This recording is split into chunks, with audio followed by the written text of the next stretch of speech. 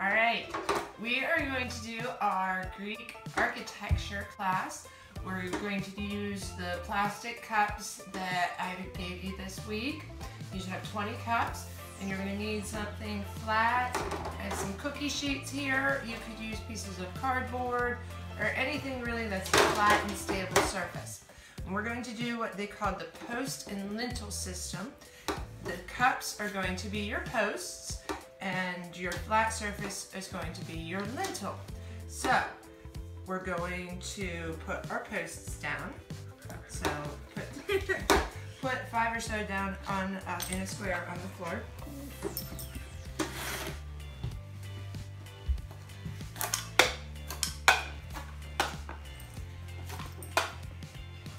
Wide enough for the cookie sheet so that the cookie sheet can sit on top of it.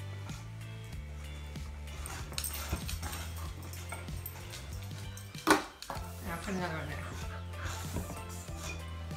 Okay. Put the cookie sheet on top. Then And it works! Magic. you're gonna do another one.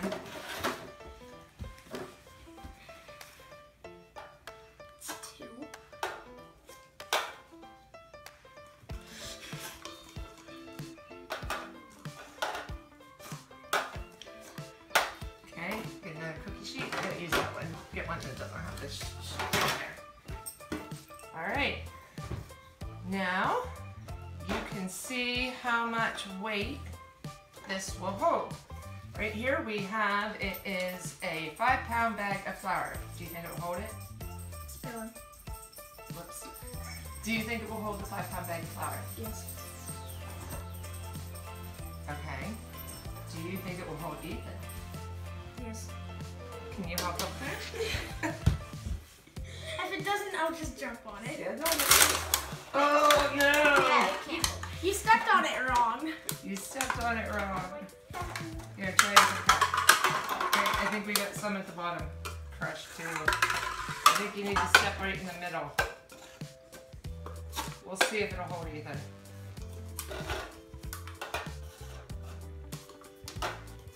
Maybe we'll pick Ethan up and set right it. Ready? Let's see if it'll hold Ethan. Ready? Oh! It didn't hold Ethan.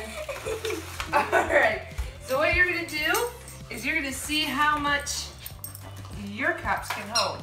They can't hold Ethan. Keep trying, send me some pictures and let me know how you do. It. Okay, so we used more cups, but we did get it, so Ethan can stand on it. So Ethan is what? About 60 pounds. So, yay, we got it to work. So see how many you can do and how much weight you can put on there. All right, bye guys. Bye bye.